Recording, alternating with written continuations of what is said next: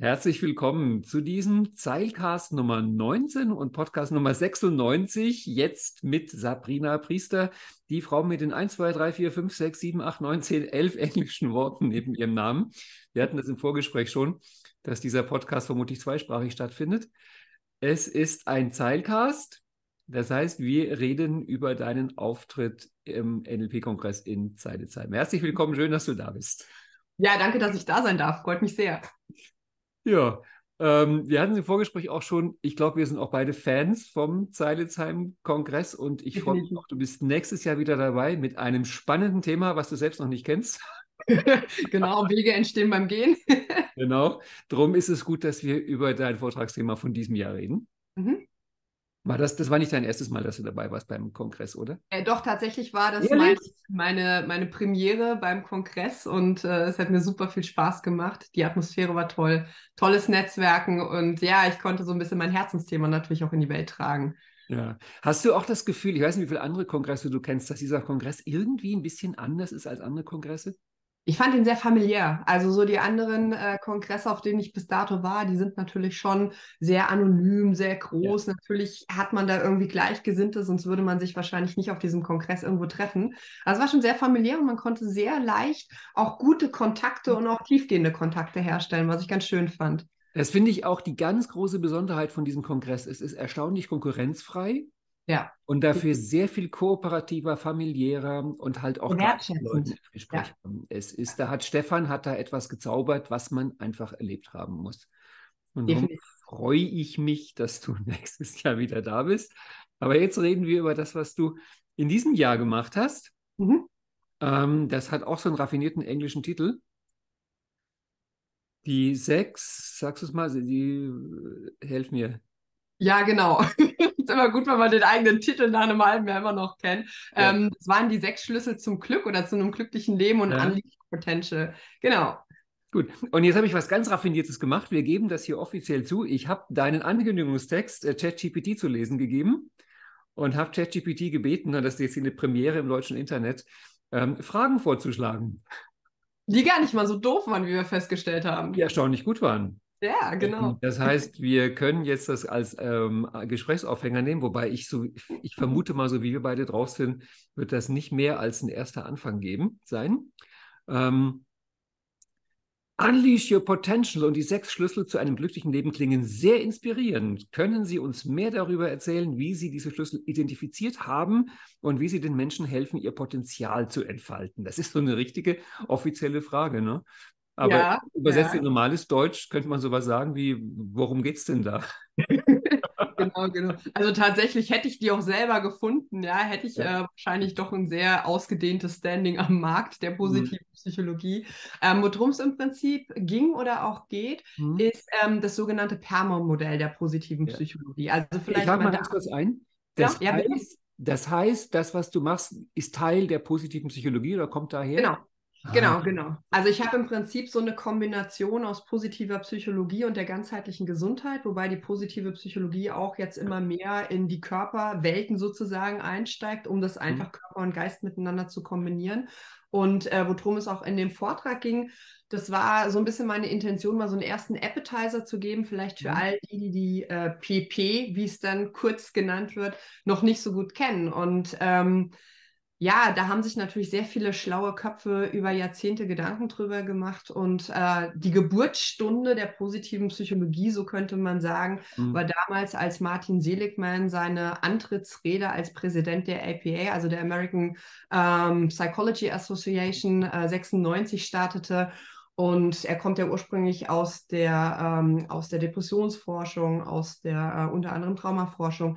Und er sagte damals, so sinngemäß in meinen eigenen Worten wiedergegeben, hey, wir haben uns in der Psychologie bisher immer nur angeguckt, was ist eigentlich mit dem Menschen, wie kriege ich den von einer Minus 10 auf eine Null?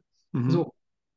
Und eine Null ne, ist jetzt vielleicht nicht so das Optimum, sondern da geht ja noch mehr auf der positiven Seite sozusagen.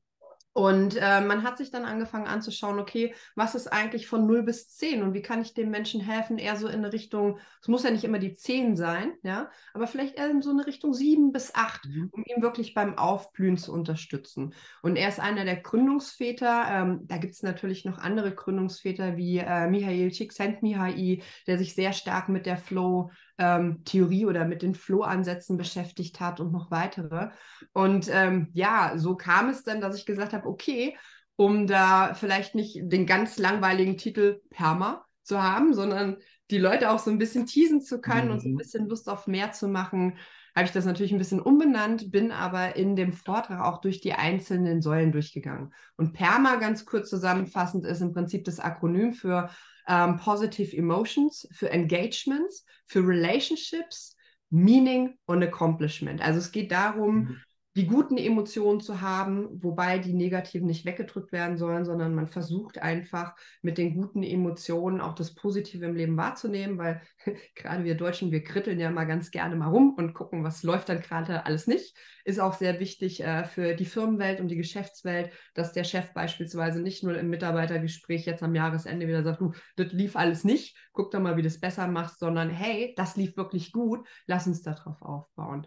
Ähm, bei Engagement sind es verschiedene Ansätze. Da kann ich zum Beispiel die Stärken, die eigenen Stärken, die Werte drunter fassen. Auch so ein bisschen das äh, Flow-Erlebnis. Wie komme ich wirklich in, in engagiertes Dasein und in mhm. ein aufblühendes Dasein auch? Die Relationships, klar, das sind die Beziehungen, die wir untereinander haben. Da kann ich nachher auch noch mal was für eine, zu einer Langzeitstudie äh, sagen, die Harvard äh, gemacht hat über mehrere Jahrzehnte, acht Jahrzehnte mhm. war das, glaube ich, in Summe. Ähm, Meaning, der Sinn des Lebens, nicht der Lebenssinn, sondern wirklich der Sinn des Lebens, also weniger auf der philosophischen Ebene, sondern tatsächlich auf der wissenschaftlichen Ebene, wie ich über die Identifikation meiner Bestimmung und meines Lebenssinns mhm. und meiner Ziele auch ein Stück weit auf meine Gesundheit einzahlen kann, wo wir hier wieder die Schleife zur ganzheitlichen Gesundheit drehen können und Accomplishment. Ziele, Ziele erreichen, wie komme ich hin und warum smarte Ziele eigentlich gar nicht so smart sind, wie wir vielleicht manchmal denken. Sabrina, jetzt ist mir ein großes Rätsel. Wie hast du es geschafft, nach einer Stunde aufzuhören? Ja, das, ich, glaube, ich glaube tatsächlich, das lag daran, dass ich dann zwischendrin mal äh, unterbrochen wurde, sozusagen, und der nächste Sprecher reinkam. Weil also ich allein, diese, allein das Buffet, was du jetzt zeigst, habe ich das Gefühl, das ist ja, das ist ja Stoff für mehr, mehrere Stunden Gespräch. Ja, ja, jeden einzelnen von diesen Buchstaben, wobei mich irritiert, es sind fünf Buchstaben, du hast doch sechs Säulen. Ja, die Gesundheit. Ah. Ja, mittlerweile, das, mittlerweile. Das ist Perma ähm, Plus dann, oder? Ja, das ist Perma Plus V ja. oder H, je nachdem, welchen ja. Ansatz man sich gerade anschaut, weil Seligman hat ursprünglich mal mit äh, nicht fünf Säulen angefangen, mhm. sondern hat im Prinzip, ähm, lass mich nicht lügen, ich glaube, es waren die ersten drei und dann kam irgendwann mal das Meaning und das Accomplishment noch mhm. dazu, mhm. um einfach zu gucken, okay, was braucht es da noch? Ja? Und äh, mittlerweile hat man gesagt, okay, da gibt es aber auch noch einen Körper. Das mhm. ist toll, wenn es der Psyche gut geht, aber alles ist im Fluss, alles ist so ein bisschen interdependent voneinander abhängig, ähm, sodass sich die Forschung jetzt eben auch anschaut, wie der Körper damit reinspielen kann. Und gerade im Bereich der positiven Emotionen, ähm, da gibt es die Broaden and Bill Theory von der Barbara Fredrickson, so eine positive Upward Spiral quasi, mhm. die im Prinzip am Ende dieser Spirale stehen hat, hey, wenn es wirklich gut läuft, kannst du auf deine Gesundheit über einen Fokus auf positive Emotionen einzahlen, ja. Und auch das Meaning, ähm, die Tatjana Schnell ist da eine der führenden Forscherinnen, die hat im Prinzip herausgefunden, dass du, wenn du deinen Sinn gefunden hast im Leben und auch danach arbeiten oder handeln und leben kannst, ne, das tatsächlich Einfluss auf kardiovaskuläre Trigger und Marker hat. Und das finde ich total faszinierend, weil ich ursprünglich tatsächlich ähm, auch so ein Stück weit, ich bin zwar aus der Bankenwelt, aber mich hat äh, Alternativmedizin immer interessiert ähm, und Verständnis für den eigenen Körper. Und das äh, freut mich dann natürlich auch umso mehr, dass diese Themen miteinander gut kombiniert werden können. Und daher sechs Schlüssel. Jetzt gibt es ja Seligmensch schon länger und auch die positive Psychologie, das ist ja eine, quasi eine altehrwürdige Methode. Ja. Wie bist denn du da rangekommen? Und ich frage das auch deswegen, weil ich war nicht auf deiner Homepage vorbereitend und da gibt es ja mindestens ein Bild, wo du verkehrt rum stehst, also auf den Händen. Das heißt, im Handstand. Äh, Hashtag Perspektivenwechsel. Äh, zum, glücklicherweise in der Nähe einer Wand, wo ich dachte, wenn sie umfällt, kann sie sich abstützen. Aber ähm, ich habe das Gefühl, du hast da einen sehr spannenden Weg da auch hin. Über Yoga vermute ich mal, oder? Wie, wie kommst du zum Handstand und Banken und positive Psychologie? Das klingt nach einer ziemlich wilden Mischung. Magst du mal irgendwie drei Minuten über dich und deinen Weg, wie dich das dahin geführt ja, hat? Gerne, gerne. Ja, das klingt vielleicht erstmal so ein bisschen durcheinander und ähm, war es vielleicht auch auf dem Weg, äh, aber ja. retroperspektiv erscheint mir das dann doch irgendwie als sinnhaft, äh, wie ich den Weg gegangen bin. Also ich habe relativ früh in der Bankenwelt angefangen, äh, eine Ausbildung ganz klassisch mit 18 mhm. und ähm, war so ein typischer Workaholic, der dann auch durchaus mal seine 12, 14, 16 Stunden am Tag gearbeitet hat. Und äh, offen gestanden war da irgendwie auf einmal nicht mehr so viel Zeit für Sport, für gesunde mhm. Ernährung. Klar, das sind alles Ausreden, weil wenn man möchte, weiß ich mittlerweile, dann kann man das.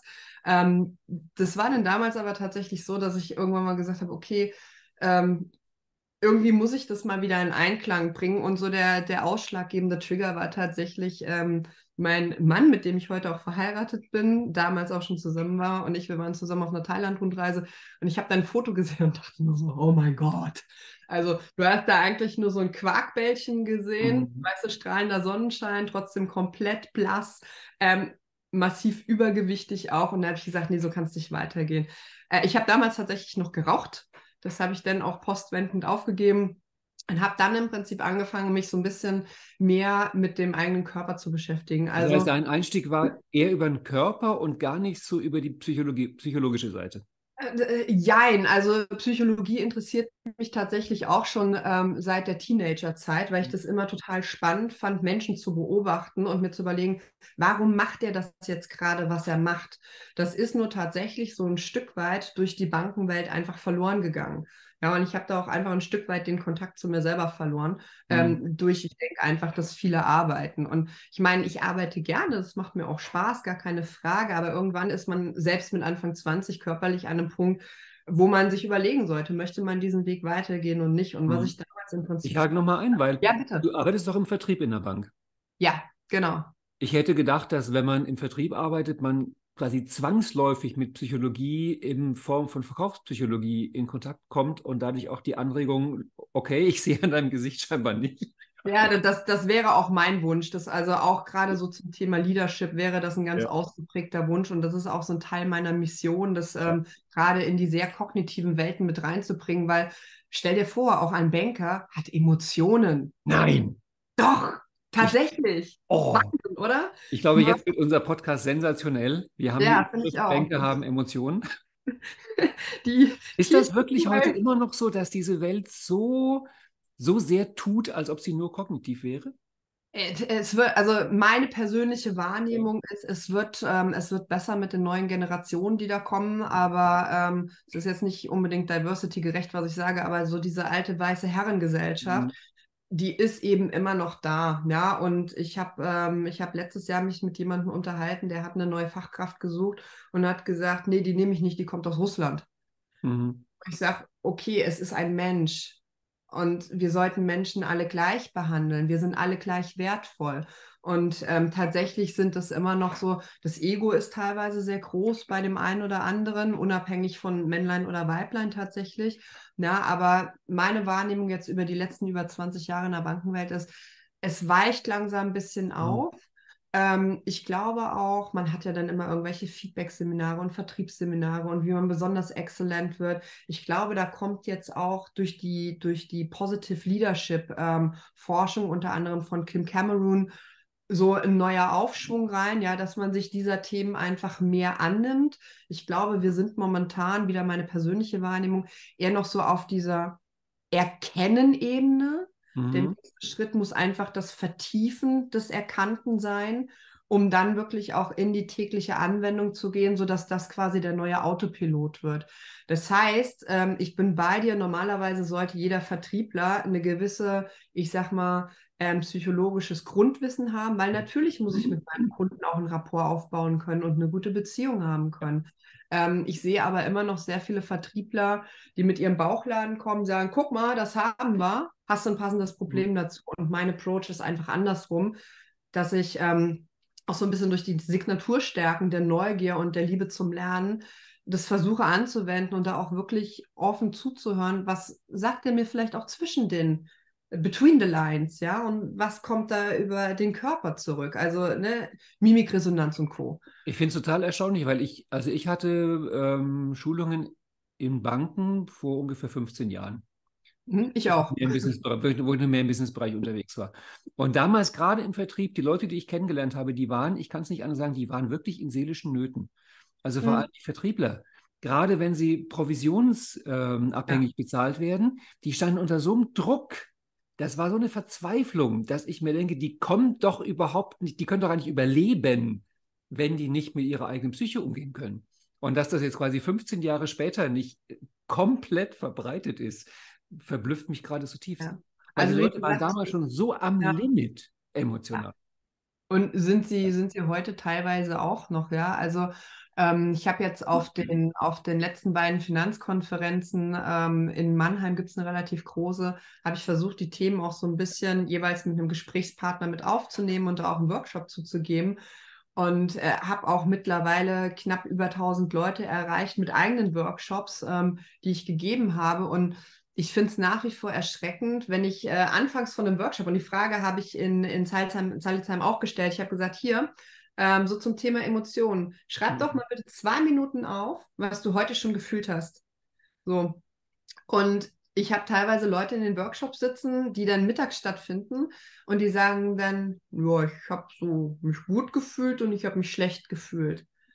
Was war denn gut? Was war denn schlecht? Was macht das denn mit dir? Ne? Doofe Frage, aber mhm. ne, was, was ist denn dahinter? Und ähm, ich kriege nach wie vor ganz häufig das Feedback, dass sich die Leute vielleicht gar nicht so sehr mit den Emotionen auseinandergesetzt haben und weil sie es vielleicht auch gar nicht von zu Hause mitgegeben bekommen mhm. haben. Ne? Also ich meine, ich arbeite mit Leuten zusammen, die sind zwischen 40, 50, 60. Die kommen natürlich auch noch als Abkömmlinge von Kriegsgenerationen, wo man solche Dinge vielleicht einfach wirklich unterdrücken musste, um so einen gewissen Schutzschild für mhm. sich selber zu haben. Ja, und ich habe dann damals aber für mich einfach festgestellt, einmal über das Körperliche kommend, ähm, das tut mir nicht gut. Und ich habe auch keine Lust, nicht ich zu sein. Und ich bin jetzt auch nicht jemand, der so total gerne eine Maske trägt, sondern I am what I am. I am my own creation.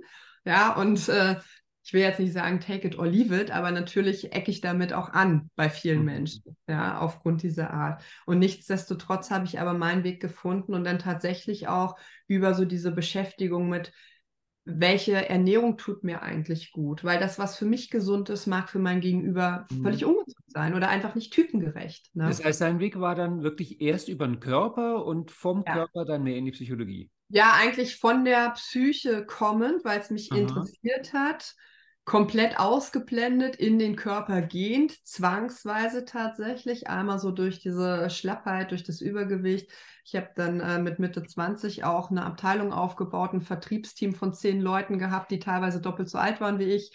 Ähm, Ne, den ich dann auch irgendwie den Vertrieb mitgeben durfte. Das war eine super Erfahrung. Ich habe nebenher an der Fernuni Hagen studiert, auch in Vollzeit. Mhm. Das heißt, ich hatte einen Vollzeitjob, ein Vollzeitstudium und dann hatte ich einen Hörsturz. So. Und das Witzige war eigentlich, oder so ein bisschen das Paradoxe, ich habe in meiner Diplomarbeit der Volkswirtschaft, habe ich in Organisationspsychologie geschrieben, also da kam die Psychologie schon wieder. Und ähm, habe mir im Prinzip das Thema angeschaut, individuelle Bewusstseinsentwicklung als Basis für die Organisationsgestaltung. Ja? Und bin da das erste Mal auf Csikszentmihalyi beispielsweise mhm. gestoßen und auch Führen mit Herz und Verstand mhm. von Hofmann damals. Ja, Das waren damals 2009 ganz brandneue Erkenntnisse in Anführungszeichen. Ähm, und auch mit NLP bin ich damals das erste Mal in Berührung gekommen, weil ich mir überlegt habe, okay, wie kann ich diese Themen miteinander kombinieren, auch für meine Diplomarbeit, aber auch aus Interesse heraus, ähm, um mich selber und auch die Organisation zu verändern. Und das Lustige ist, ich habe damals wirklich das, diesen Themenblock der Achtsamkeit mit reingenommen, habe damals auch mhm. schon sehr viel Yoga gemacht und habe es aber nicht geschafft, in die Anwendung zu kommen, weil sonst hätte ich wahrscheinlich keinen Hörsturz gehabt. Ja. Und da war wirklich so die erste, die erste Turning Point, wo ich gesagt habe, so, jetzt schreibe ich darüber, ja, und weiß es kognitiv, also erkennen, ne? Und jetzt darf ich es vertiefen und wirklich auch irgendwann mal in die Anwendung bringen. Das heißt, das war so der erste, die, der zweite, würde ich sagen, Meilenstein Ähm, warum ich dann auch wieder zurück zur Psychologie gekommen bin, zur NLP und zur positiven Psychologie vor allen Dingen, ähm, über Körper und Achtsamkeit kommt. Mhm. Und Achtsamkeit ist auch ein großer Baustein mittlerweile im Rahmen der positiven Psychologie, der erforscht wird. Und ähm, ja, so, so schließt sich dann so ganz langsam der Kreis, der sich im Laufe der letzten zehn Jahre einfach noch weiter abrunden durfte und einen Feinschliff immer mehr bekam und natürlich auch tagtäglich weiter bekommen. Wir kommen gleich dazu. Ich habe noch eine Frage davor, wenn du noch mal in diese Zeit zurück ist, weil ich finde das gerade sehr spannend. Du warst ja Teil und bist heute noch, aber du warst ja damals wirklich Teil dieser Bankenwelt. Ich bin immer noch Teil ja, der Bankenwelt, genau. Aber ja. damals warst du quasi ja, ja nur da drin, das mhm. war ja deine Welt. Und du warst offen für diese ganzen Anregungen, du hast die gesucht. Mhm. Das ist ja, was die meisten vermutlich nicht teilen, die sind ja vermutlich eher skeptisch. Was würdest du sagen, war bei dir damals anders, dass du da eine Chance drin gesehen hast, was vielversprechendes und nicht eine Bedrohung? Ja, ich glaube, retroperspektiv würde ich sagen, ist es tatsächlich ähm, das, was ich jetzt heute als Wissen über meine Stärken sagen kann. Ja? Mhm. Dass ich da wirklich einfach diese Neugier habe und ich bin hungrig nach neuen Erfahrungen, nach neuem Wissen und Dinge neu zu lernen. Also ich bin auch so ein typischer Mensch, ich liebe es, Abteilungen aufzubauen. Ich liebe mhm. es, mein Wissen weiterzugeben. Ich liebe es, andere zu inspirieren. Ja, und ich glaube, ähm, das war so einmal, dass ich gesagt habe, rein kognitiv möchte ich mich damit beschäftigen. Mhm. Und ich kann dir sagen, wenn du morgens aufwachst und nichts mehr hörst, das ist richtig kacke. Ne?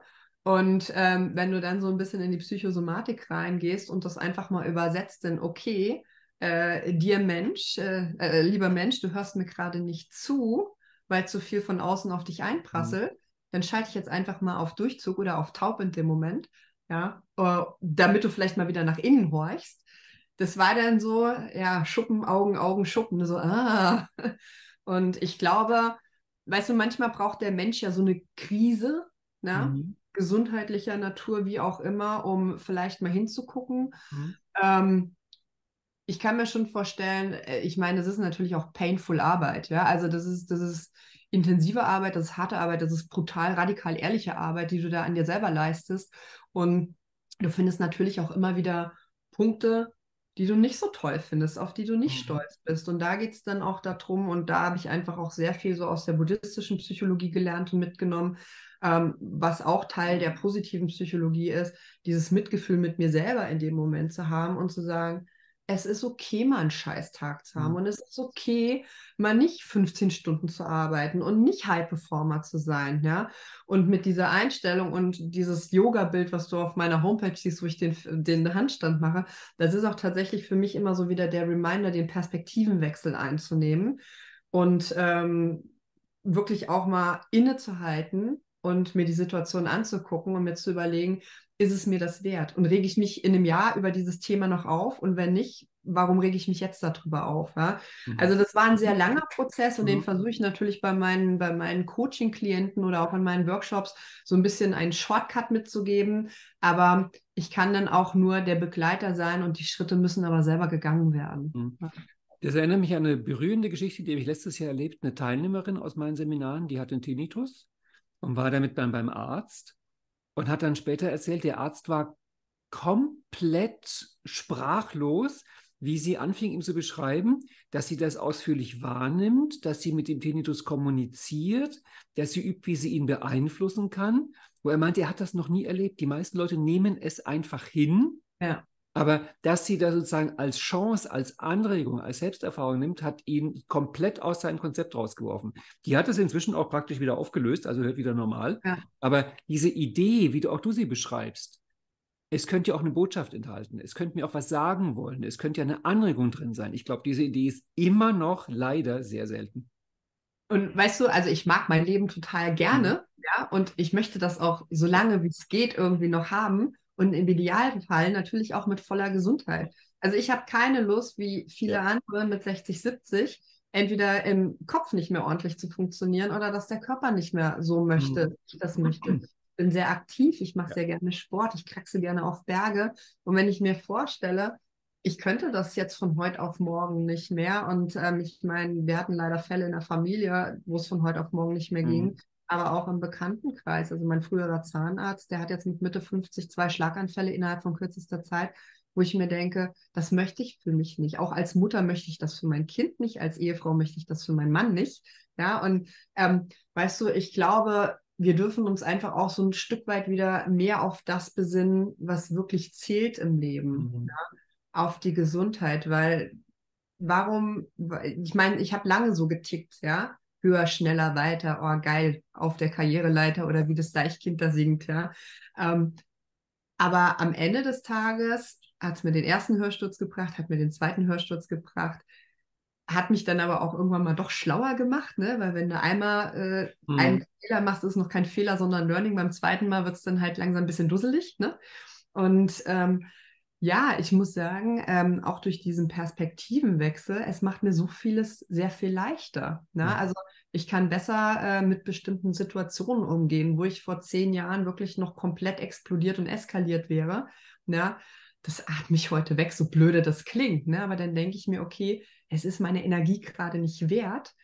Und ich habe auch keinen Bock, mich immer mit anderen zu vergleichen, sondern ich gucke doch lieber, wo stand ich vor zehn Jahren, wo stehe ich mhm. heute und wo möchte ich in zehn Jahren stehen. Natürlich hole ich mir Inspiration von außen, aber ich glaube, und das ist auch wiederum Teil der PP, also mit der positiven Psychologie, das war so ein bisschen auch wie Schuppen, Augen, Augen, Schuppen, ne? dass ich äh, auf einmal festgestellt habe, wow, da habe ich jetzt so einen Schirm, mhm. der sich über all meine Interessensgebiete irgendwie rüberspannt ja, und der auch für alles, was irgendwie schon mal intuitiv in mir drin war, wissenschaftliche Erklärung finde. Und das ist für mich total cool, weil ich einfach jemand bin, äh, Kind der Wissenschaft, der gerne nah auch an der Wissenschaft ist, der doch schon immer gerne auch einen Beweis haben möchte, also schon so ein bisschen rational-kognitiv unterwegs ist.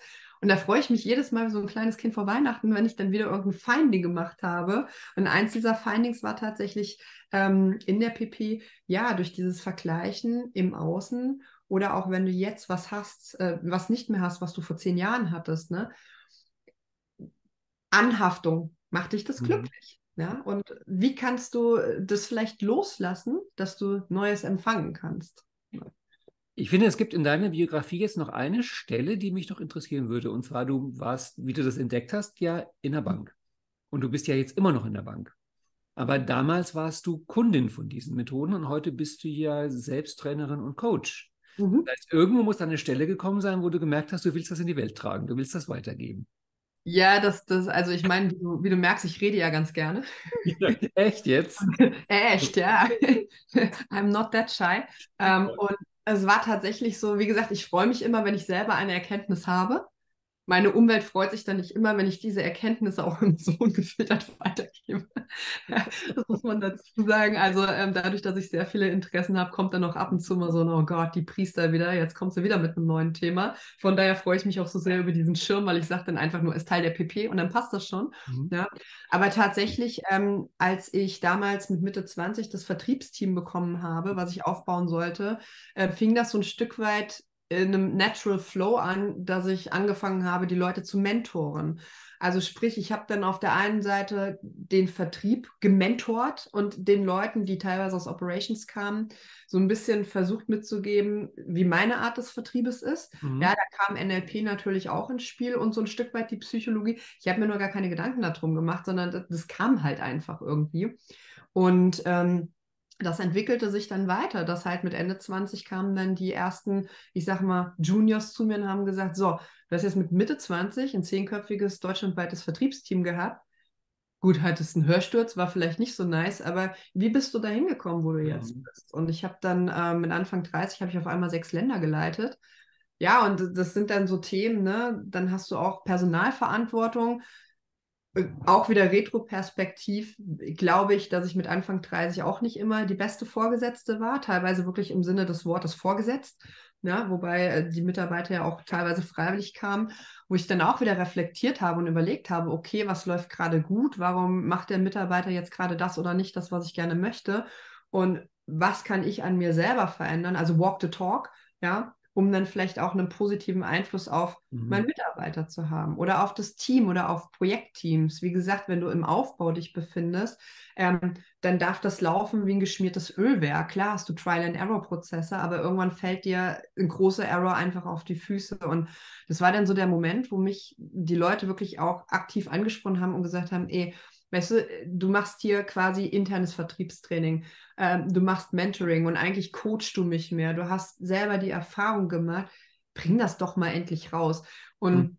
es ist ja manchmal so mit den eigenen Blindspots und vielleicht auch so eine gewisse Angst oder Scheuheit dahinter, die dann sagt, naja, puh, reicht es eigentlich so vom Wissen und von der Erfahrung her aus? Auch da bin ich dann nochmal in Medias Re mit mir selber gegangen und äh, habe natürlich mit meinem Mann auch einen tollen Sparring-Partner, ähm, der auf der gleichen Wellenlinie tickt und dann auch so ein bisschen challenged und ja, man soll ja nicht unter Eheleuten sich coachen, aber das machen wir dann trotzdem gegenseitig, weil es auch einfach so ein Natural Flow ist. Und wir sagten dann auch, ja, go for it, mach das. Ne? Und dann fing das im Prinzip an, dass ich gesagt habe, okay, ich coach jetzt mal so ein bisschen nebenher oder ich meine, ich liebe es wirklich auch äh, auf einer Bühne zu stehen und einen Vortrag zu halten. Ob ich dann anschließend in einem Menschengetümmel stehen muss, ist nochmal was anderes, das mag ich wiederum nicht so.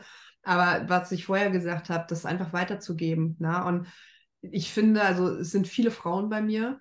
Mhm. Und ich finde, gerade von Frau zu Frau sollten wir uns mehr gegenseitig helfen und diese Stutenbissigkeit ablegen, weil, weißt du, wenn, wenn meine Mitarbeiterin damals ähm, doch gut performt und glücklich ist. Und wenn ich sie dazu befähige, an meinem Stuhl zu sägen, was Besseres, kann mir doch als Chef nicht passieren, weil mir gibt es dann auch wieder die Freiheit, weiterzuziehen. Und ich bin jemand, ich ziehe gerne weiter und gucke mir Neues an. Und so kam das im Prinzip. Und ich habe dann schon fachspezifische Vorträge, halte ich halt auch seit Mitte 20. Dieses Mentoring mache ich seit Mitte 20. Und vor, lass mich nicht lügen, drei Jahren, vier Jahren habe ich dann tatsächlich offiziell auch mein eigenes Business angemeldet und habe gesagt, hm. hey, ja, komm, machen wir das jetzt mal.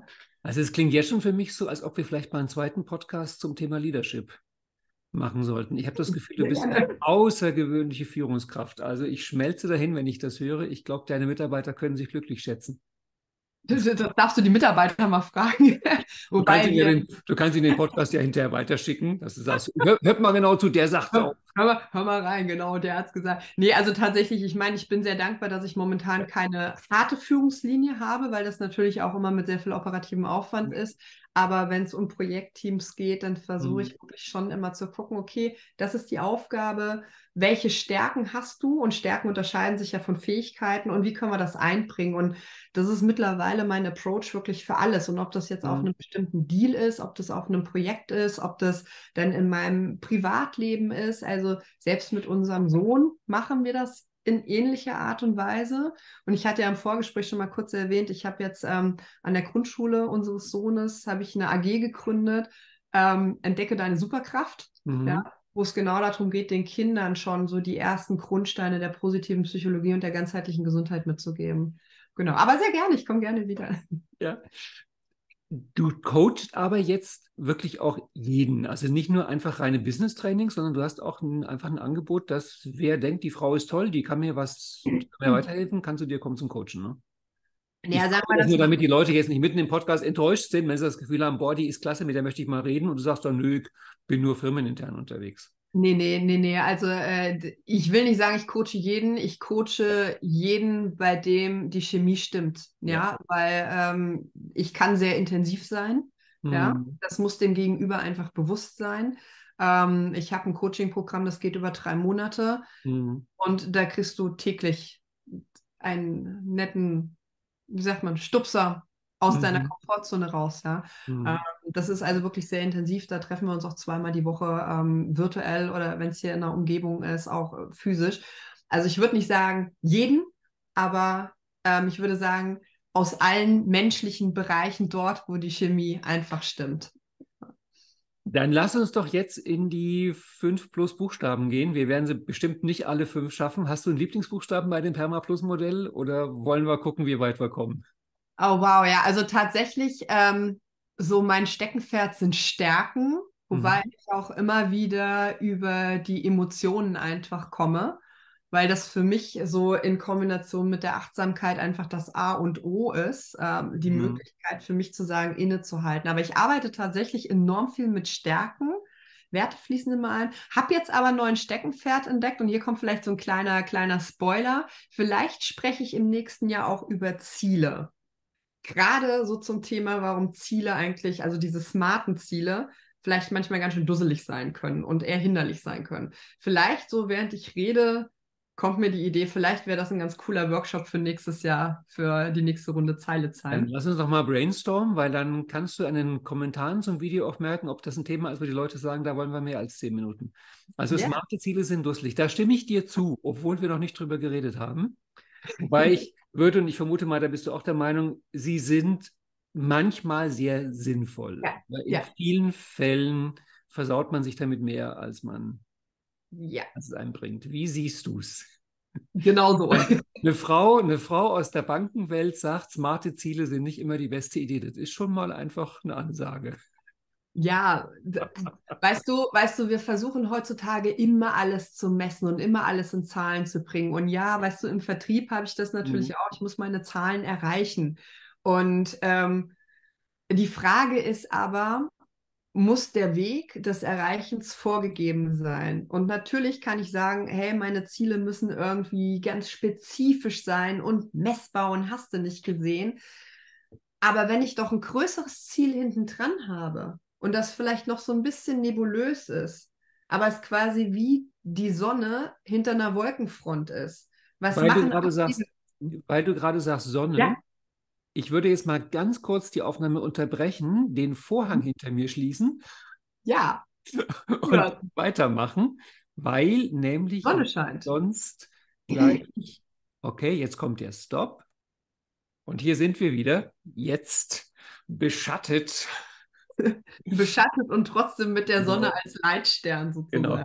Du sagst da was, das irritiert mich. Und zwar, du bringst jetzt den Unterschied zwischen dem Ziel und dem Weg zum Ziel naja, es ist ja miteinander irgendwie kombiniert und zusammen, ja. Und ähm, ich, ich, dachte, dass gerade in der Businesswelt die Ziele vorgegeben werden, aber gerade nicht der Weg zum Ziel vorgegeben. Ja, es kommt drauf an. Also ähm, wenn du sagst, du musst einen bestimmten äh, mhm. Return erreichen, um das jetzt mal auf die Bankenwelt zu übertragen, ja, dann kommt es wirklich auch auf die Führung an, ob sie dir den Ziel, äh, den, den Ziel, mhm. den, die, das Ziel äh, bzw. den Weg tatsächlich vorgibt. Ja? Und ja. ähm, die, die es nicht vorgeben und wo die Mitarbeiter wirklich auch selbstständig in den Flow kommen können, könnte hilfreich sein, ist aber wirklich situativ abhängig, es ist mhm. industrieabhängig, denke ich. Ja, aber du hast natürlich schon immer wieder in deinen Jahresend-KPIs oder Anfangs-KPIs, äh, also Key Performance Indikatoren drinstehen, also das muss jetzt genau das bis genau dahin in rot-grün gestreift sein. Mhm. Wo ich mir denke, okay, da fehlt es vielleicht manchmal so ein bisschen an Sinnhaftigkeit. Und ich bin kein Freund von stumpfem Abarbeiten. Ich hatte mal einen Chef tatsächlich, ähm, mit dem habe ich mich ganz köstlich verstanden, nicht in Brackets, ja. Ähm, der sagte mir mal irgendwann, du machst das jetzt so, weil ich dein Chef bin und dir das sage wo ich nur so dachte, das ist ein tolles Argument, danke fürs Gespräch, aber nö. Ja. Ähm, wenn ich aber so ein Stück weit ein Gefühl dafür habe, was will der Mitarbeiter eigentlich? Und mhm. da kommen wir wieder so ein bisschen auf die Stärken und auf die Werte. Ne?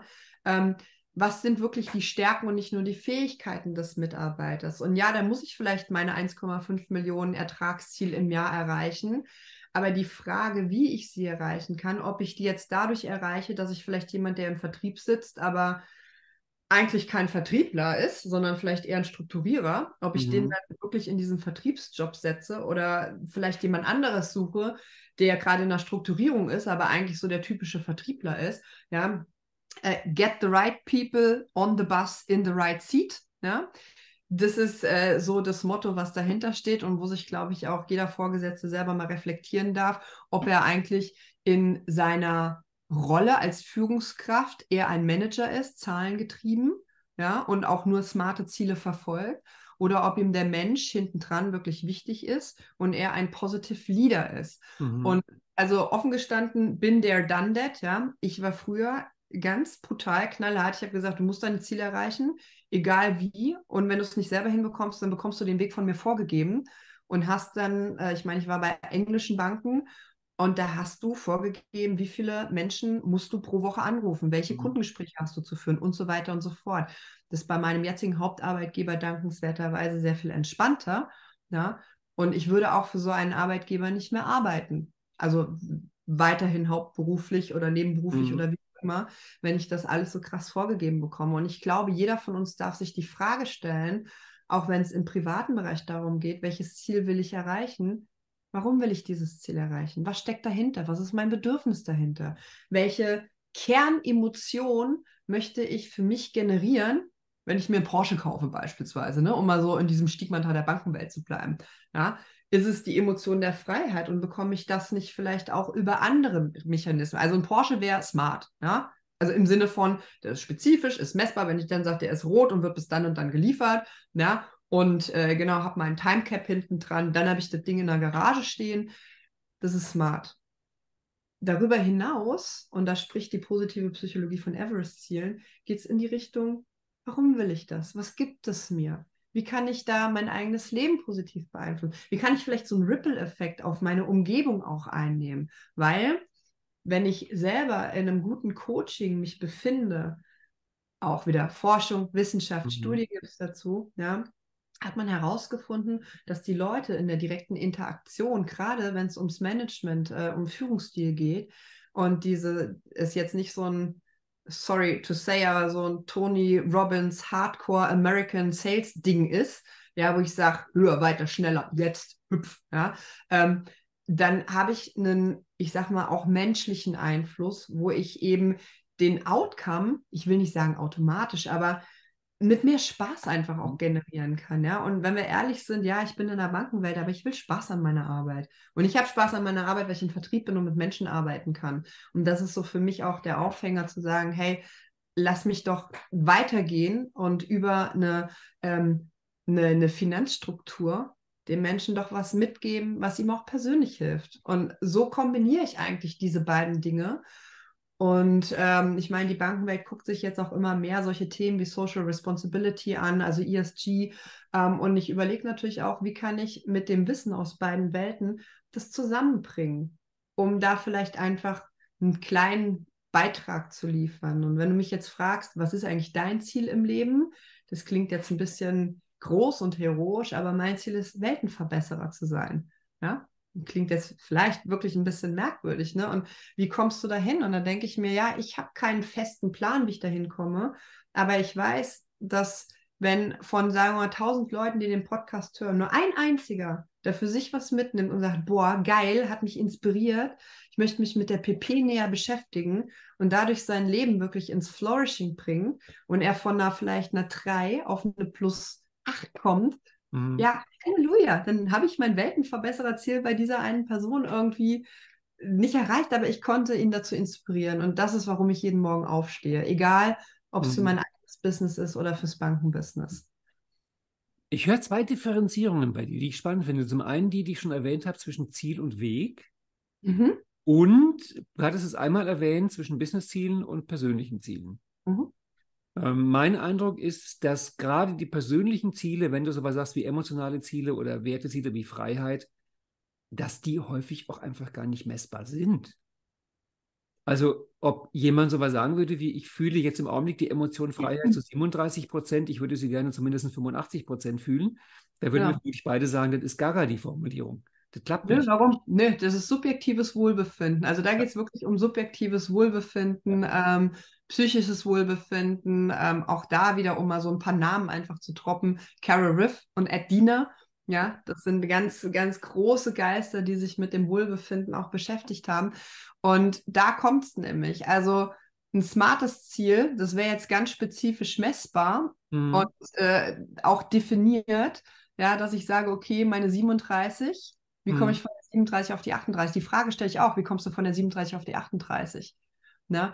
Aber wenn das morgen halt keine 37 ist, sondern wenn es morgen schon eine 50 ist, dann so be it, dann ist das fein, ja. Und das meine ich auch mit dieser Messbarkeit. Also bestimmte Dinge, Glück, klar kannst du sagen, auf einer Skala von 1 bis 10, wie glücklich findest du dich, empfindest du dich gerade. Mhm. Aber das Leben unterliegt Schwankungen. Ja. ja jetzt kommen wir zum ganz zum riesengroßen zweiten Thema. Ich meine, dass jemand so, also wenn wenn einer wirklich sagen würde, ich die Emotion Freiheit fühle ich zu 37 Prozent, mhm. dann würde die Person damit ja auch behaupten, dass sie auf 100 Stufen fein abgestimmt Freiheit spüren kann. Das ist ja ein Maß an Achtsamkeit, was kaum einer hat. Du hast vorhin von dem erzählt, der meinte, ich habe mich heute gut und schlecht gefühlt. Ja.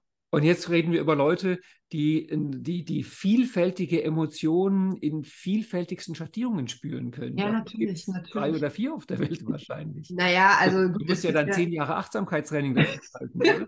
Also ich glaube, Achtsamkeits, also ich würde es gar nicht Achtsamkeitstraining nennen, sondern Achtsamkeitsanwendung tagtäglich ja. immer wieder. Weißt du, es gibt ja. Themen, die triggern mich massiv, zum Beispiel Idioten im Straßenverkehr. Das kriege ich auch bis heute nicht so ganz in den Griff, dass ich mhm. mich da völlig entspannt das wegatme und nicht doch manchmal auch aufrege. Ja? Aber es gibt andere Themen, was ich vorhin auch meinte, dass ich sage, okay, da wäre ich vor zehn Jahren an die Decke gegangen, wo ich heute denke, es geht vorbei. Alles geht vorbei. Panterei. Es ist ein Fluss. Ja? Und ähm, also es gibt tatsächlich bestimmte Emotionen. Paul Ekman hat seine Basisemotionen ähm, damals definiert, sage ich mal, mhm. indem er die unterschiedlichsten Länder äh, bereiste, beforschte, wie auch immer.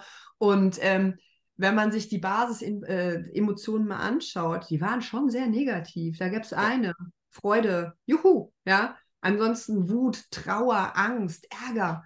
Ja, ja gut, er begründet das damit, dass diese Negativen halt einfach überlebenswichtig sind. Also die sind. Ja, aber heute haben wir eine Chance, das wirklich zu ändern. Ja, also da, da steht kein Tiger mehr um die Ecke, hm, ja, und wenn, mein Chef Chef. Einem, wenn mein Chef in einem Tigerkostüm um die Ecke käme, würde ich wahrscheinlich eine sehr positive Emotion haben, ne? nämlich Freude.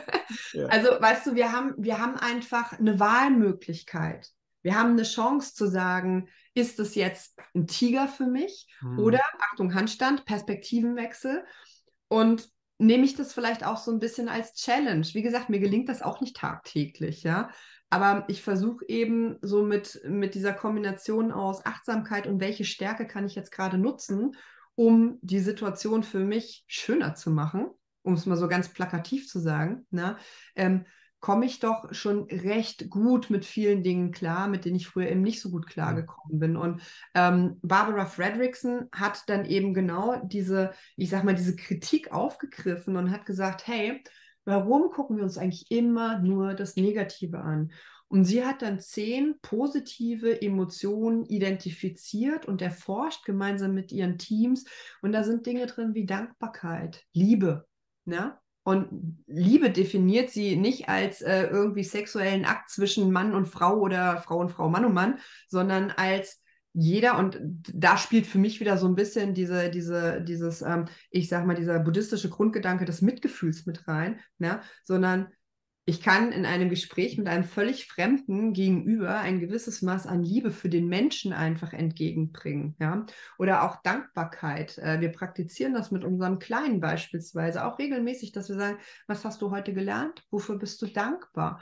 Um einfach das auch so ein bisschen zu formen, weil wir in so einer Konsumwelt leben, und ich bin da nicht ausgenommen. Also ich konsumiere auch gerne, ja. Und äh, meine Appreciation and uh, Beauty of Excellence, also diese, diese Liebe zu schönen Dingen, ja, die führt eben auch dazu, dass ich gerne mal was kaufe, was vielleicht unnötig ist. Aber ähm, die Frage dahinter, bin ich dafür dankbar, kann ich das genießen? Ja, wenn ich beispielsweise in mein Auto einsteige, dann liebe ich das jedes Mal, weil ich dieses Auto so toll finde. Ich könnte es aber auch Nee, kein Porsche, kein Porsche. Ich, äh, ich bin Land Rover-Fraktion. Ich gebe es zu, ja, ein nicht ganz umweltfreundlich, aber ich benutze ihn gar nicht so oft, weil ich mhm. meistens mit dem Fahrrad fahre. Nur, ähm, ich könnte ihn von heute auf morgen verkaufen. Also ich hafte mhm. diese, diese Sache nicht an. Aber ich genieße das im Moment. Und ähm, das ist so ein bisschen die Forschung von Barbara Fredrickson, die gesagt hat, wenn ich mich auf das Positive fokussieren kann, ohne das Negative mhm. aber wegzudrücken, sondern einfach nur mal gucke, was ist mir eigentlich heute schon alles Gutes passiert. Dann kann ich dadurch neue Handlungsoptionen aufzeigen für mich selber. Auch so zum Thema Mindset. Ne? Dann kann ich vielleicht meine Einstellung zu manchen Dingen ein bisschen ändern, weil ich mich dann nicht darüber ärgere, dass es heute regnet, sondern weil ich denke, hey cool, muss ich meine Pflanzen nicht mhm. gießen, so als Beispiel. Das wiederum zahlt über diese Ressourcen und diesen neuen Handlungsspielraum, den ich mir dadurch selber eröffne, wieder ein auf die Beziehung, die ich mit anderen habe. Ja, es gibt mir einfach neue Möglichkeiten. Und am Ende dieser Broaden and Build Theory steht tatsächlich die Einzahlung auf das eigene Wohlbefinden, auf die eigene Gesundheit, ähm, auch wieder kardiovaskuläre Marker, Immunglobuline, die sich verbessern, die sich ja auch durch Meditation nachweislich im mhm. Speicher beispielsweise verbessern. Und ich glaube, auch hier wieder ist für mich persönlich, ähm, auch wenn ich das jetzt in dem Zusammenhang so explizit noch nicht gesehen habe, aber catch die Autopilot ASAP, so wieder diese, dieser Triggerpunkt zu sagen, okay, stopp! Und jetzt gucke ich mir das an. Und muss ich mich darüber ärgern oder kann ich vielleicht eine positive Emotion daraus generieren? Und von daher hast du halt deine, deine ich sag mal, Paul Ekman-Emotion mhm. mit einer positiven und äh, die, wie ich finde, sehr schöne Barbara Fredrickson-Forschung äh, zu den positiven Emotionen, was ja dann auch die erste Säule, um den Kreis zu schließen, des Permamodells ist. Und was natürlich hm. sich auch auf alles andere ein Stück weit äh, interdependent auswirken kann. Ne? Weil wenn ich mich darüber freue, dass ich mein Ziel erreiche, ist die Wahrscheinlichkeit, dass ich es gerne wiederholen möchte, einfach sehr viel höher. Du hast mich jetzt irgendwo aus der Kurve geworfen, weil ich habe das Gefühl, du hast gerade einen flammenden, ein flammendes Plädoyer für smarte Ziele gehalten, nur mit dem Zusatz, man müsse halt einfach lernen, bestimmte Dinge zu messen, die man vorher als nicht messbar angesehen hat. Das heißt, wenn du genügend Achtsamkeit praktizierst, sind Dinge für dich genau wahrnehmbar, beschreibbar, messbar, sodass du die auch in Form von smarten Zielen packen kannst. Aber ich glaube, es geht eher um die Intensität des Erlebens ja. als um das, äh, das offene Erleben. Ich meine, die Neu neuronalen Pfade können ja auch dadurch entstehen, dass ich es entweder sehr oft wiederhole oder einfach eine starke Beziehung zu dieser Sache mhm. habe. Ja? Und ich sage ja, smarte Ziele sind smart in bestimmten Situationen, aber eben nicht immer. Und dieses nicht immer muss, glaube ich, jeder für sich selber überlegen, ob er dieses Grid von Smart braucht, an dem er sich da entlanghangelt, oder ob er mehr möchte. Ja, und da gibt es einfach die Everest-Ziele in der positiven Psychologie. Wenn ich jetzt beispielsweise frage, warum mache ich den Vertrieb gerne? Was steht dahinter? Mhm. Was wäre die nächste Stufe auf einer zehnstufigen Treppe? Dann kann ich ja sagen, das smarte Ziel ist mein hartes KPI der Erträge. Ja? Mhm. Warum mache ich das? Ich, ich habe ja die freie Wahl eigentlich. Also, ne, ich meine, manche sagen ja, ich muss jetzt dies und ich muss jetzt das. Also, mein siebenjähriger Sohn sagt, Mama, musst du das oder möchtest du das? Wenn ich mit so einem Spruch komme. Ne? Also wir haben die Wahl. So, und ähm, ich habe auch die Wahl, im Vertrieb zu sein. Ich könnte auch was anderes machen. Mhm. So. Und warum bin ich im Vertrieb? Was steht dahinter? Ich bin gerne mit Menschen zusammen. Ich arbeite gerne mit Menschen. Das ist auf einmal nicht mehr wirklich messbar. Dann kannst du vielleicht noch meine, meine Meetings oder meine Calls irgendwie messen von der Anzahl, aber auch nicht von der Qualität. Die Qualität spiegelt sich vielleicht in den Erträgen irgendwann wieder. Ne? Aber was es mit mir macht, und was ich daraus ziehe, das ist erstmal nicht messbar wissenschaftlich statistisch, sondern es ist eine subjektive Wahrnehmung dessen, wie ich die Situation einschätze. Wenn ich jetzt sage, okay, warum bin ich gerne mit Menschen zusammen, wäre für mich die nächste Stufe zu sagen, hey, ähm, meine Liebe zum Lernen und die Neugier in Kombination. Ich möchte, auch wenn ich jetzt gerade sehr viel rede und wenig über dich erfahre, was wir dann im Vor- oder Nachgespräch noch nachholen können, ja, ist aber tatsächlich auch zu sagen, hey, ich will dich kennenlernen als Mensch. Was steckt hinter dem Konstrukt Ralf? Was mhm. ist dahinter? Und auch bei meinen Kunden, was steckt hinter deiner Herausforderung? Was steckt hinter deinem Problem? Ja? Welcher Wunsch steht dahinter? Welches Bedürfnis? Ja, natürlich, auch das kann wieder messbar sein, wenn ich sage, ich muss meine Ziele über, äh, weiß ich nicht, äh, äh, Umlaufvermögen so und so verbessern. Aber auch diesen Menschen bewegt ja was. Und da kommen wir dann eher so in den Everest-Bereich, weil ich dann sage, okay, ich helfe den Menschen gerne, ich inspiriere gerne, ich weiß mhm. gerne, ich frage gerne. Ähm, und warum mache ich das gerne? Und dann komme ich irgendwann, bei mir ist halt diese Stufe 10, das, was ich vorhin schon mal sagte, so dieses Weltenverbesserer. Und auf welche Art und Weise, wie ich das mache und ob das immer smart ist, I don't know. And I don't care.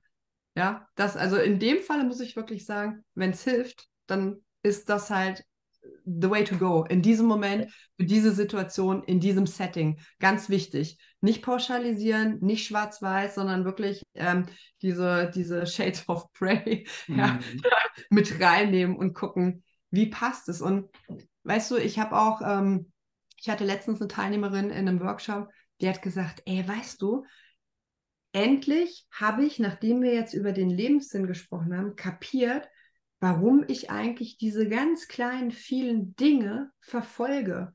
Und ja, die sind nicht immer smart. Und weißt du, du darfst ja auch mal was tun um des Tun Willens. Ich habe ja mit der Meditation nicht unbedingt ein Ziel, dass ich sage, so, ich setze mich jetzt eine mhm. Stunde hin. Nach dieser einen Stunde muss ich entspannt sein. Sondern ich mache das um des Seins und des Tun Willens. Und ich glaube, wir dürfen uns öfter mal mehr darauf besinnen, dieses So-Sein und dieses im Hier und Jetzt sein einfach, ja, zu zelebrieren, ohne immer ein hartes Ziel dahinter zu haben. Und auch mal keine Ahnung, ich meine, auf dem Berg, ja, da steige ich, keine Ahnung, weil ich entweder das Gipfelkreuz erreichen will, weil ich entweder gehen will oder einfach, weil ich die Natur erreichen will oder sehen will oder wie auch immer. Ist das unbedingt smart? I don't know. Hm. So wie du über die Bankenwelt jetzt redest und deinen Job, fällt mir auf, da geht es viel mehr um Menschen als um Zahlen. Das, Eigentlich schon. Das heißt, wir sind schon mitten in dem, in dem R drin, den Beziehungen, Relationship. Ja. Lass uns doch da mal ein bisschen weitermachen. Ist das für dich dieses R-Beziehung zu jedem Menschen, also sozusagen die ganz vielen alltäglichen Beziehungen, oder geht es da mehr um signifikante, wenige besondere Beziehungen, also das Perma? Ähm, also ich glaube, im, also nach Perma geht es wirklich so um die Relationships, die dich stabilisieren, die mhm. auch ein bisschen längerfristig sind, die ein bisschen intensiver sind. Ja? Meine persönliche Meinung dazu ist, ähm, ich muss nicht jeden, jeden Menschen heiraten, ich muss auch nicht mit jedem Menschen klarkommen. Ja? Ist einfach nicht. Aber ich kann für mich entscheiden, dass ich jeden Menschen mit der gleichen Wertschätzung und mit dem gleichen Respekt mhm. behandle. Auch das gelingt mir nicht immer, wenn wir ehrlich sind. Ja? es ist einfach so, je nach Emotion und Tagesform, wenn ich einfach massiv abgenervt bin wegen, anderen, wegen des, äh, eines anderen Themas und es nicht wegatmen konnte, dann passiert mir das auch mal, dass ich vielleicht schnippiger bin. Also es ist mir gestern gerade am Telefon passiert, wo ich dann aber im Call noch gesagt habe, äh, I'm sorry for being rude. Also es tut mir leid, dass ich jetzt am Anfang so ein bisschen harsh war. Ich versuche hier nur gerade irgendwie die Bälle in der Luft zu halten. Ja?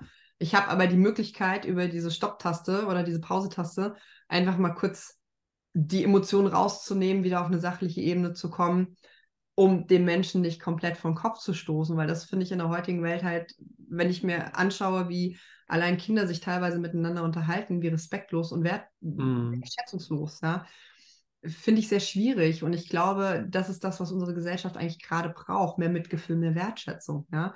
Und wenn ich jetzt auf, die, auf das R in der Permasäule gehe, natürlich ist es da hilfreich, auch gute Beziehungen zu den Geschäftspartnern zu haben. Heiraten muss ich es aber trotzdem nicht. Ja?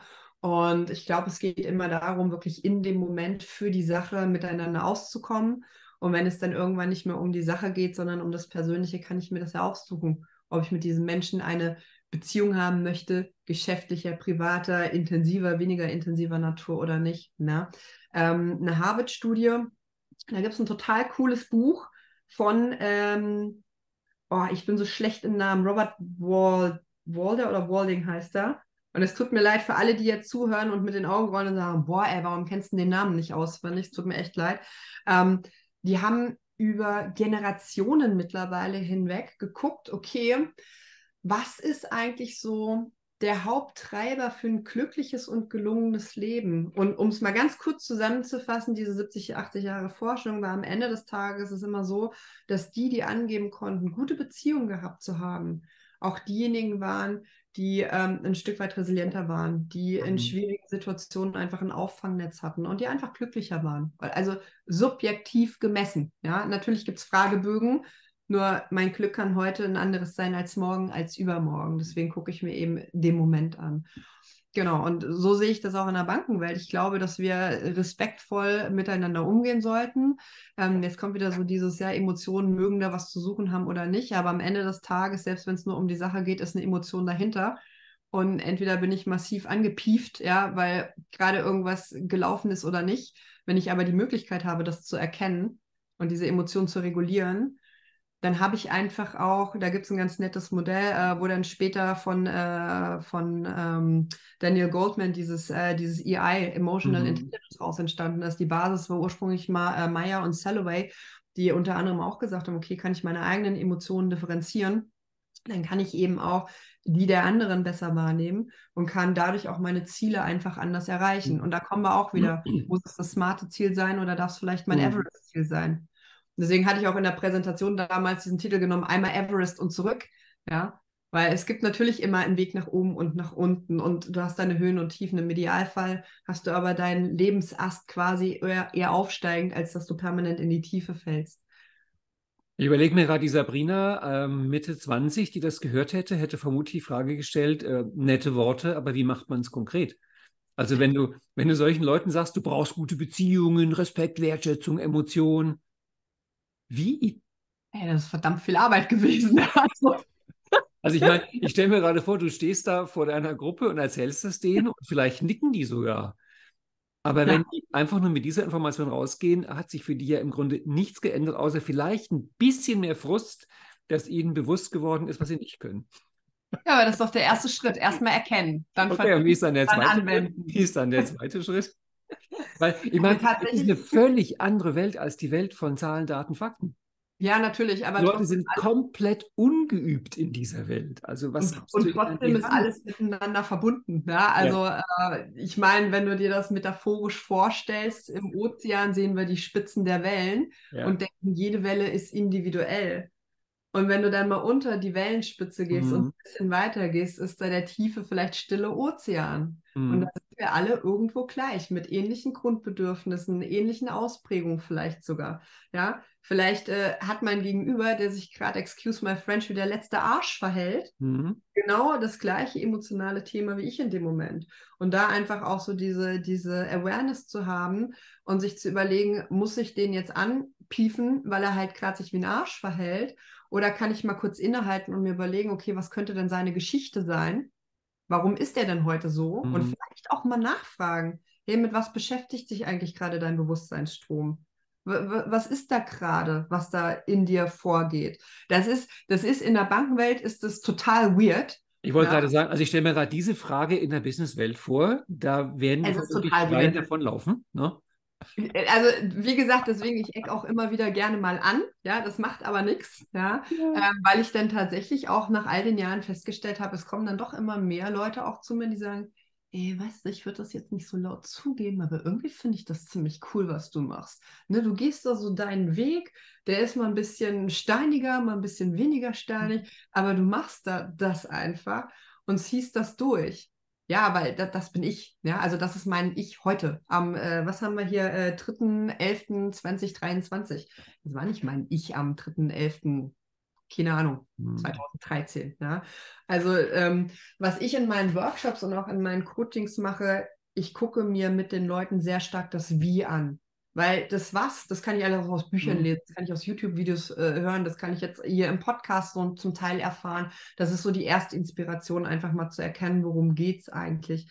In einem weiteren Schritt meine Workshops sind in der Regel sehr interaktiv, wo die Leute auch ans Eingemachte gehen. Also zum Thema Relationship ähm, hatte ich äh, auf äh, dem äh, Vortrag an Zeilezheim habe ich äh, die, das äh, sogenannte Berlin Eye Experiment gemacht und habe die Leute gebeten, sich eine Minute schweigend in die Augen zu gucken. Mhm.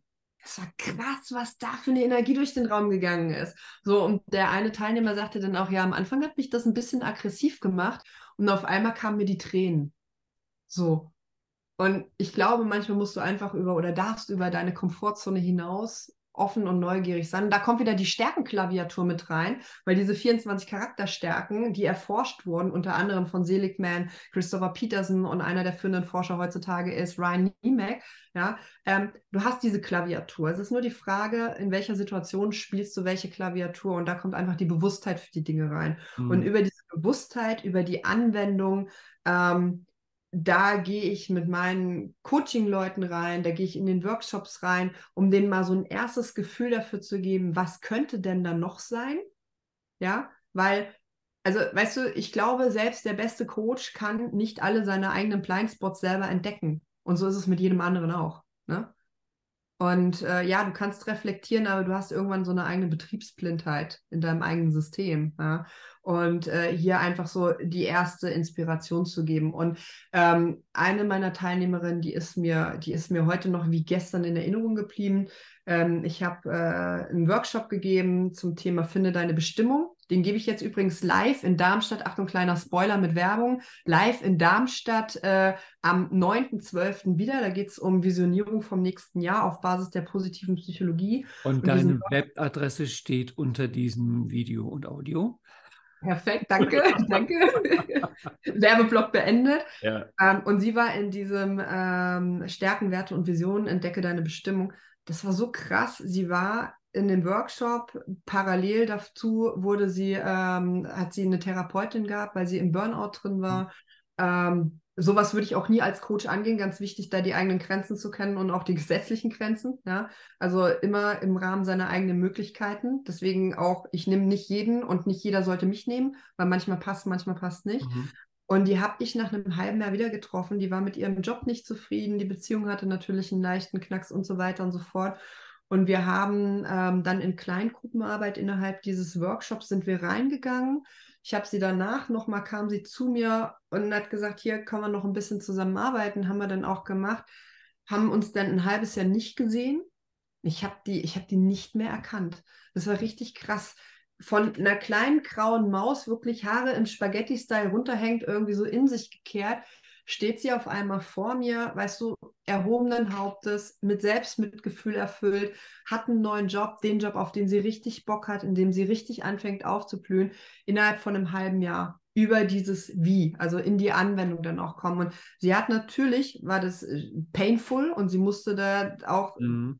doch einiges äh, an sich tun, aber allein erstmal die Erkenntnis zu haben und das Ganze dann zu vertiefen und dann tagtäglich Weißt du, täglich grüßt das Murmeltier. Immer wieder zu gucken, okay, wo gibt es eine Situation, die triggert mich gerade? Ähm, ist mein Wertesystem angegriffen? Was kann das Wertesystem des anderen sein? Was sind meine Stärken? Wie kann ich die nutzen, um da rauszukommen? Und so weiter und so fort. Und das machen wir in den Workshops. Und wie du eingangs ja richtig sagtest, ich könnte den ganzen Tag darüber reden. Und ich könnte auch über jede Säule den ganzen Tag reden, über manche mehr, äh, über andere ein bisschen weniger. Aber in Summe ähm, sind es Komponenten auch von einem dreimonatigen Transformationscoaching äh, um wirklich eine, eine Selbstwirksamkeit zu erzielen, weil ich möchte nicht, dass die die nächsten zehn Jahre von mir abhängig sind, sondern ich möchte die irgendwann entlassen können mit so viel ähm, Möglichkeiten und mit so einem großen Bouquet oder Buffet, mhm. aus dem sie dann selber bewusst selektieren können, ohne permanent wieder im Autopilot sein. Und wenn es der Autopilot ist, dann doch bitte der, der auf ein gelungenes Leben einbezahlt. Und ähm, nicht uns in solchen Negativspiralen von Meckern, Pöbeln und äh, respektlosen Miteinander enden lässt. Sabrina, wir haben die ganzen Fragen von ChatGPT nicht gemacht. Das habe ich aber auch schon geahnt. Aber du hattest mir bei einer dazu geschrieben, die soll ich dir als Abschlussfrage stellen. Die fandst du so schön? Die ja, ich erinnere mich. Ich werde, jetzt, ich werde jetzt offiziell die sechste, die sechste Frage von ChatGPT von den acht. Yes, please. Ich finde ja auch schön, ChatGPT sieht dich, ne? Ja, es ist mir, ist mir aufgefallen. Fand ich ein bisschen äh, weird. Bin ich gar nicht mehr so gewohnt, aber ja, fiel mir auf. Ähm, können Sie über Ihre Vision sprechen, Menschen zu inspirieren, ihr volles Potenzial zu entfalten? Wie versuchen Sie, diese Vision in Ihrem täglichen beruflichen Leben umzusetzen? Das ist wirklich ja. eine schöne Frage, ne? Das ist eine schöne Frage und ich ja. fange mal mit dem zweiten Teil der Frage an. Walk the talk. Hm. Also ich kann nicht als Führungskraft, äh, als Manager, Leadership äh, über ähm, People-centric äh, Führung sprechen, ja, und darüber sprechen, dass der Mensch im Mittelpunkt ist. Dann aber die Mitarbeiter vor versammelter Mannschaft, excuse my French again, zur Sau mhm. machen, weil ein Fehler passiert ist. Geht einfach nicht. Ich mhm. kann nicht darüber sprechen, eine offene Feedback-Kultur zu haben, dann aber selber mich vor Feedback komplett zu verschließen. Wie gesagt, äh, ich bin da in einem täglichen Lernprozess und ich werde es hoffentlich bis Ende meines Lebens auch bleiben, ja, ähm, um da einfach noch mehr das Gefühl für mich und auch für andere zu bekommen. Aber ich glaube, das ist so mein Ansatz. I am what I am, I am my own creation, ja, und mit diesem Walk the Talk auch einfach zu zeigen, es braucht nicht immer eine Maske. Ich kann in meine Rollen schlüpfen, ja, das muss ich auch tun, weil, wie gesagt, in der Bankenwelt, es kommt auch nicht jeder Kunde mit der Art und Weise, wie wir jetzt uns miteinander unterhalten, klar. Da muss ich mhm. natürlich ein bisschen adaptieren und Rapport aufbauen. Ja, aber dafür brauche ich keine Maske. Das ist ein Teil von mir. Ja, nur ich kann auch nach 20 Jahren, vielleicht mittlerweile wieder, aber ich kann nach 20 Jahren guten Gewissens in den Spiegel gucken ähm, und muss mir auch keine Gedanken darüber machen, oh, warte mal, was, wie habe ich dem das gesagt und habe ich dem das vielleicht so erzählt, sondern also Spinalkanal, Mund auf, raus, ja, bumm. So, that's me. Also diesem Thema Walk and Talk, da gibt es von Karl Valentin eine Version, das ist meine liebste. Da geht es um Kindererziehung, wo er gesagt hat, man kann die Kinder noch so gut erziehen. Irgendwann mhm. machen sie einem doch alles nach. Genau, genau. Genau, und äh, ich glaube, auch wenn ich jetzt vielleicht ein bisschen Bashing von allen Managern da draußen bekomme, aber so ähnlich ist, ist es ja auch mit ja. Managern. Ja. Also, der ja. eine macht dem anderen nach, der ihn irgendwie inspirierend findet, for whatever reasons. Ja. Und ähm, dann hast du anschließend entweder eine sehr gesunde oder eine nicht so gesunde Führungskultur im Unternehmen. Mhm. Und, ähm, Weil ich meine Lanze brechen möchte. Ich weiß nicht, ob du Gunther Schmidt kennst, den deutschen Hypnose. Ja, natürlich. Der hat einen großartigen Reframe dafür, wenn du das eine tust und das andere sagst. Und zwar mhm. sagt er, das ist unsere Möglichkeit, beidem gerecht zu werden. Das eine, das, ein eine, würd, das eine, würdigt man mit den Worten und das mhm. andere würdigt man mit den Taten. So werde ich beidem gerecht. Das ist ein total schönes Reframe, das für mich leider so gar nicht passt. ich fand es herzerwärmend. Ah, also ich, ich mag ihn und seine Arbeit sehr, definitiv. Ja. Mhm. Ich könnte mir aber auch vorstellen, dass da so ein Augenzwinkern dabei gewesen sein könnte. Also du versuchst jedenfalls deine Vision, dass du sie wirklich auch lebst. Ne? Ja, ja, ja, definitiv. Weil alles andere ist für mich, das fühlt sich nicht gut an, wo wir wieder bei den Emotionen und bei den Gefühlen sind. Ne? Das, das bin nicht ich, wenn ich permanent irgendwie darauf achten muss, äh, keine Ahnung, äh, was, was tue ich jetzt. Natürlich versuche ich mich äh, auch so zu artikulieren, dass meine Botschaft beim Empfänger ankommt. Mhm. Gar keine Frage, ja. Aber ähm, mein Wesen ist, wie es ist und ähm, manche inspiriert es, manche schreckt es ab, manche regt zum Nachdenken an. Und da darf sich jeder das von Sabrina Priester nehmen, was er gerne möchte. Man muss mhm. mich auch als Person nicht inside out mögen, aber vielleicht gibt es so ein paar Eigenschaften, ähm, wo das Gegenüber sagt, hey, genau das finde ich cool und genau so stelle ich mir mein eigenes Ich zusammen. Und so habe ich das auch gemacht. Ich habe jahrelang geguckt, okay, was finde ich cool, welche Eigenschaften, was gefällt mir, wo sage ich, hey, das könnte für mich passen, bin dann ins Ausprobieren gegangen und das, was irgendwie sich nach mir angefühlt hat, das wird dann behalten und das, was eben nicht ich bin, das wird halt wieder abgegeben. Das mhm. ist easy. Genau. Ich habe ein bisschen das Gefühl, wir haben eine Stunde über Achtsamkeit geredet. Weil ich hatte, egal von welchem Thema du anfängst, es ist immer wieder die zentrale Stelle, du musst es mitbekommen. Es muss dir bewusst sein, du musst es wahrnehmen können. Also das ja. ist ein ganz zentraler Punkt bei dir. Ja. Es ja. klingt so, als ob du auch in einer Welt wärst, wo dir auffällt, dass sehr viele Leute sehr viele Sachen gar nicht mitbekommen.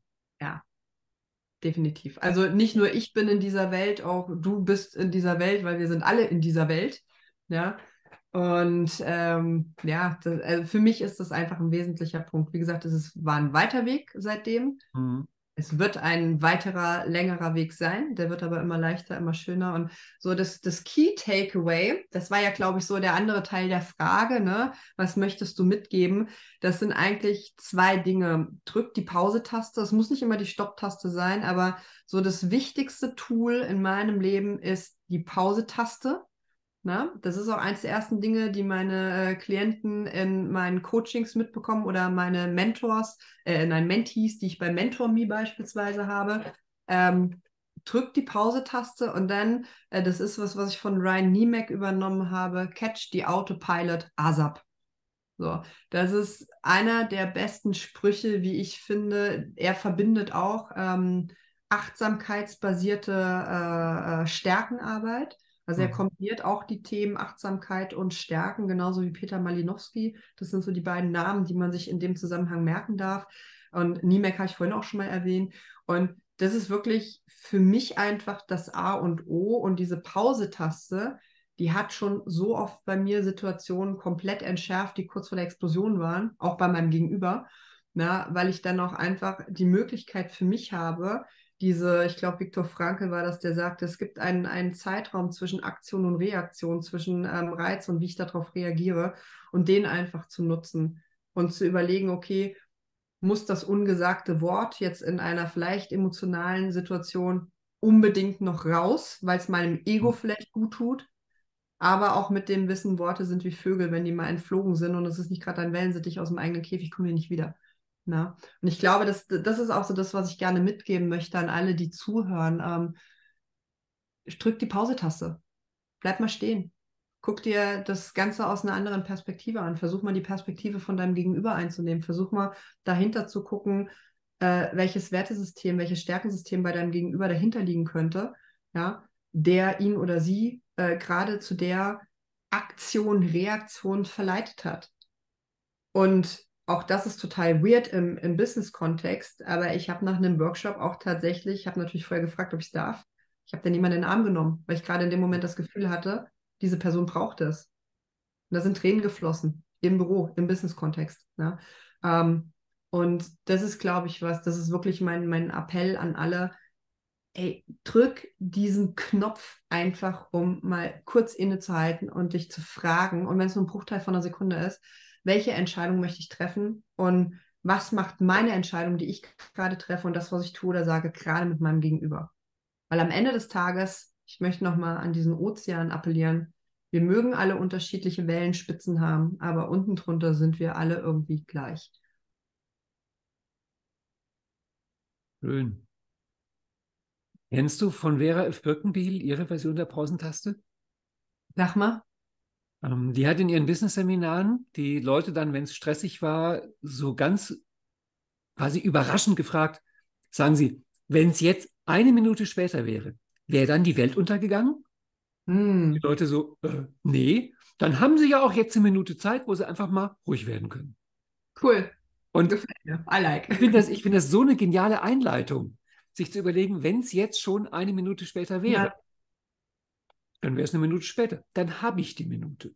Nee. Weil die Leute, die die Pausentaste nicht drücken, haben ja oft das Gefühl, ich habe die Zeit jetzt nicht hm. für die Pausentaste. Ja. Du hast reagieren zu müssen. 30 Sekunden, eine Minute, 90 Sekunden länger braucht man ja nicht. Das ist ein ganz kurzer Zeitraum. Und sich das zu überlegen, wenn es jetzt eine Minute später wäre, wäre ja. auch in Ordnung. Und dann drücke ich die Pause-Taste. Ach ja, die Birkenbiel, das war auch eine tolle. Ja, ja. Ansonsten so als kleines äh, unwichtiges Nebenfeedback von mir, weil du vorhin diesen einen Namen nicht wusstest. Ich glaube, ich habe noch nie im Leben ein Gespräch geführt mit einer Person, die so viele Namen erwähnt und Quellen angegeben hat wie du. Ich bin tief beeindruckt. Die Liebe zum Lernen. Ich wollte es gerade sagen. Es passt, dass hinter dir ein Bücherregal steht und du hast sie auch alle gelesen. Es ist auch ein echtes, es ist auch ein echtes. Ja, ja. Ich bin beeindruckt. Im Übrigen, ich habe wirklich das Gefühl, dass die Stunde, die wir jetzt geredet haben, war eigentlich mehr so eine Art Einleitung. Das war eine Überschrift. Jetzt, jetzt könnte es losgehen mit vielen Gesprächen, mit vielen Stunden. Du weißt unglaublich viel, du hast unglaublich Ausstrahlung, du hast Lebenserfahrung. Ich glaube, du hast die Sachen auch wirklich selbst erlebt und dir nicht nur angelesen. Also da ist, noch, da ist noch extrem viel Möglichkeit, mit dir zu reden. Hm. Gucken wir mal. Spätestens nächstes Jahr in Seidelsheim. Aber gerne, gerne, auch vorher nochmal in irgendeinem Podcast. Wir können mal gucken, ob es weitere Fragen dazu gibt. Ich glaube, uns fehlen drei Buchstaben von den sechsen. Wir hatten die, die Positive Emotions, wir hatten äh, ein bisschen Accomplishment und Ziele, wir hatten Relationships. Ja, über Stärken, wie gesagt, das würde so unter das äh, Engagement fallen das, fließt ja bei mir auch irgendwie immer gefühlt ein. Mhm. Wahrscheinlich werde ich dann sehr erstaunt sein, wie oft oder nicht oft ich es erwähnt habe, wenn ich mir die Aufnahme anhöre. Genau, und ähm, Meaning, Meaning, der mhm. Lebenssinn, der aber auch ganz eng mit den Zielen zusammenhängt. Und ich bin der Meinung, Führung. Führung wäre auch nochmal ein Thema, wo es bestimmt spannend wäre, mit dir zu reden. Führung also, und ganzheitliche Gesundheit. Ich habe in meinem Leben so viele schlechte Führungskräfte getroffen, dass es auch mal ja. schön mit einer guten zu reden. Wie gesagt, ob, äh, ob ich jetzt äh, eine gute bin oder nicht, das äh, darf dann das Gegenüber entscheiden, egal ob Projektteam oder äh, ehemaliger Angestellte. Ja. Aber genau, es, es wird besser. Ich bin auf dem Pfad sozusagen. Ich habe das Gefühl, dass du in dieser, in dieser Rolle als Führungskraft halt einfach diese Verbindung von Fachkompetenz und Herzenswärme wirklich gut balancierst. Das ist momentan mein Eindruck. Also, dass man da auch, wenn man mit dir arbeitet, als Mensch wahrgenommen wird. Und ich glaube, das ist das gerade in der Welt, in der du bist, besonders, aber an sich auch besonders. Weil du weißt ja auch, ich meine, du zitierst ja auch ständig Studien und sowas wie diesen berühmten Satz von Gallup, Mitarbeiter kündigen nicht bei Firmen, Mitarbeiter kündigen bei Führungskräften. Ja. ja. Also ganz, diese, ganz diese Beziehung, diese Beziehung ist so unglaublich wichtig zwischen Mitarbeiter und Führungskraft. Ja. Ja, aber auch hier nochmal, das war ein harter Lernprozess, weil ich früher sicherlich eher die Führungskraft war, die ich heute definitiv nicht mehr sein möchte. Und äh, auch das einfach eine lange Entwicklung ist. Und, und ich glaube, weißt du, ich glaube, es ist sogar egal, ob du eine disziplinarische Führungsverantwortung hast oder nicht. Also die habe ich jetzt momentan nicht und bin auch froh drum. Nur nichtsdestotrotz, wenn du dich selber führen kannst und selber mit dir so ein bisschen reflektiert und im Reinen bist, egal ob das dann für ein Projektteam ist äh, auf Arbeit mhm. oder ob du, ähm, so wie ich jetzt in meinem Falle, eine Superkräfte AG an der Grundschule für eine erste bis vierte Klasse noch leite oder ob du ein Fußballteam äh, von deinen Kindern leitest, ja. Ich glaube, es ist egal in welchem Setting, weil du kannst immer in so eine Art, ich will es noch nicht mal Führung unbedingt nennen, sondern in so eine Inspirationsrolle einfach reingehen. Mhm ja, wenn das natürlich deinem Naturell entspricht. Also ich habe früher mal in Finance gearbeitet, so reines Number Crunching. Äh, und ich glaube, so bestimmte Branchen ist das vielleicht auch noch mal ein bisschen, die sagen sich jetzt wahrscheinlich am Ende des Gesprächs, Gott, was denn das für eine ISO-Tante? Ne? Kann auch passieren. Ähm, aber da einfach mal zu gucken, wie kann ich ähm, andere Menschen mit dem, wo ich selber schon mal war, inspirieren und welche Menschen kann ich damit inspirieren, weil es passt einfach nicht auf jeden. Ja, sind wir. Was ich beobachte, ist, wenn ich Karrieren sehe, halt auch bei Teilnehmern, ist, dass wenn die Leute dann im Businessbereich ihren Weg gehen, dann kommt irgendwann ein Tag, wo sie plötzlich Führungskraft sind. Viele mhm. wollten das gar nicht. Deswegen sage ich auch immer vor, Gesetzter. Genau. Viele wollten das gar nicht. Sie haben keine Ahnung, wie das geht. Es muss halt einfach irgendwann sein. Sie kriegen keine ja. Ausbildung. Du bist jetzt Führungskraft. Na dann viel Spaß. Ja, ja also in, in, die positiven Vorbilder und die Katastrophe geht ihren Weg. Ja, also ähnlich wie bei, bei den Vertriebsseminaren. Also ich meine, ich habe, ich weiß nicht, wie viele Vertriebs- und Kommunikationsseminare ich in den letzten, aber jetzt haben wir 23, ja 24 Jahren Bankenwelt äh, tatsächlich schon mitgemacht habe. Also es waren verdammt viele. Und es war überwiegend schon, welche Fragen muss ich dem Kunden stellen, wie verkaufe ich mein Produkt. Also es gab da so ein Action-Selling-Ding, das war ja nicht alles schlecht, da waren ja schon gute Elemente drin, wo es auch heißt, ja, okay, du musst dich selber erstmal verkaufen und dann kommt alles andere. Aber die Frage ist ja, wie verkaufe ich mich selber? Ne? Und so für mich das einprägendste Beispiel war tatsächlich äh, einer der Makler, die uns auch das Haus gezeigt haben, in dem wir heute wohnen. Das war ein Makler, der hat uns den Raum gegeben, der hat den Raum geöffnet, also jetzt auch literally sozusagen hier im Haus, ne? Und hat erstmal zugehört, gewähren mhm. lassen. So. Die meisten anderen Makler, und das, was ich auch bei vielen Verkäufern jetzt außerhalb der Bankenwelt einfach auch sehe, du kommst in ein Geschäft und dann hängen die schon, sorry to say, wie so ein Blutegel an dir dran. Ja, erzählen dir im Zweifelsfalle noch was davon, dass sie jetzt Provision dafür bekommen, können dann aber, und ich bin jemand, ich stelle sehr gerne Fragen, gerade wenn ich mich für was wirklich interessiere und mhm. wissen will, können dir das aber nicht beantworten. Und das ist halt total doof, wenn du dann merkst, ja, so, da, da geht es dann halt nicht weiter. Auch diese Firmen, die jetzt wie aus dem, äh, wie heißt das, wie die Pilze aus dem Boden schießen, die dann sagen, okay, ich mache jetzt Businessberatung bei dir. Ich helfe dir jetzt in die Sichtbarkeit zu kommen und äh, würdest du mir fünf Minuten deiner Zeit schenken, wenn ich dir jetzt sage, danach ändert sich dein Leben? Wo ich nur denke, ey Leute, so eine Anfrage möchte ich gar nicht haben. Mhm. Das ist absolut nicht individuell. Das ist typisches American Sales-Ding. Mhm was für den amerikanischen Markt vielleicht funktioniert, aber sicherlich nicht für den deutschen und wahrscheinlich auch für viele Eure, äh, andere europäische Länder nicht, sondern ich möchte ja selber auch als Individuum behandelt werden. Und so versuche ich das halt mit dem Gegenüber. Wie gesagt, auch das klappt nicht immer. Ja, machen wir uns nichts vor. Aber das ist sowas, wo ich glaube, ähm, dass den Menschen hinter was auch immer er für einen Anzug, für eine Maske trägt, welches Auto er fährt, wie auch immer, wahrzunehmen, zu sehen und anzuerkennen und sich zu überlegen, hey, Ozean, wir sind doch irgendwie same, same, but different. Ich mag an dir, dass während ich schon auf dem Weg war, den Podcast abzuschließen, du nochmal ein riesengroßes Thema aufmachst, so unsere Serie über, über Achtsamkeit im Vertrieb. Die, die vierteilige Podcast-Serie. Also ich glaube, mit dir könnte man ganz viel und ganz lange reden. Kann passieren, ja. Deswegen ist es am schlausten, wir hören jetzt einfach auf. Das machen wir. Und machen dann ein, ein anderes Mal weiter Ja, Dank und, dir viel, vielen, vielen Dank an dich und an alle, die noch nicht vorgespult haben und jetzt immer noch zuhören. Ganz herzlichen Dank für eure Lebenszeit, dass ihr die mit uns geteilt habt. Wie war das immer? Heute ist nicht alle Tage. Wir kommen wieder, keine Frage. Ne? ich danke dir. Tschüss. Tschüss, herzlichen Dank.